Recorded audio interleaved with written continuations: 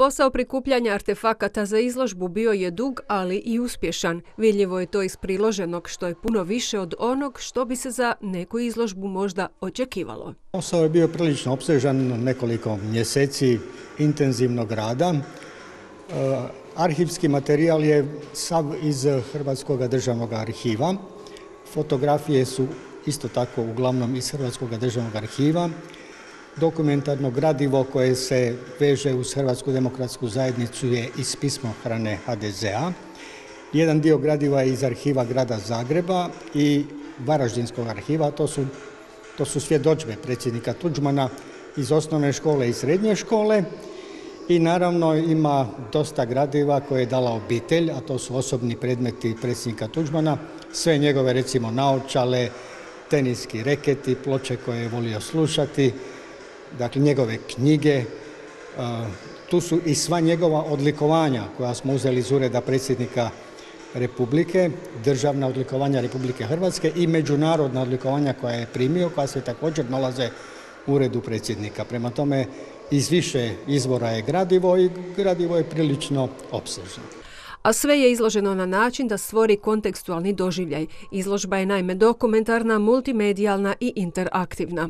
Multimedijalna, znači ima puno filmova i malih kratkih filmova koji su rađeni upravo za ovu izložbu. E, interaktivna je jer recimo kad prolazite kroz ovu sobu gdje je ono, ono gradivo koje govori o njegovom progonu, uzništvu, zatočeništvu, dakle osuđivanje dakle, na zatvor i tako dalje, onda čujemo onu pisaču mašinu iz 60. godina kao da mu kuca sudbinu, onako tak, tak, tak, jel? A kad idemo dalje, ovaj, onda prolazimo kroz jedan tunel crni gdje čujemo uh, poziv na uzbunu i tako dalje. Prema tome, to su te interaktivne stvari koje onda uključuju publiku u sam događaj i onda ona jedna druga dimenzija koja ih zapravo ovaj, potiče da razmišljaju o samoj izložbi.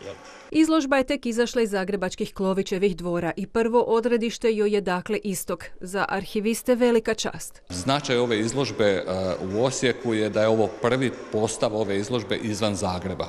Ona je bila u Klovićevim dvorima, ovdje smo ju postavili u Muzeju likovnih umjetnosti. Državni arhiv u Osijeku kao sudomačin i suorganizator, zahvaljujući Muzeju likovnih umjetnosti koji je ustupio svoj prostor.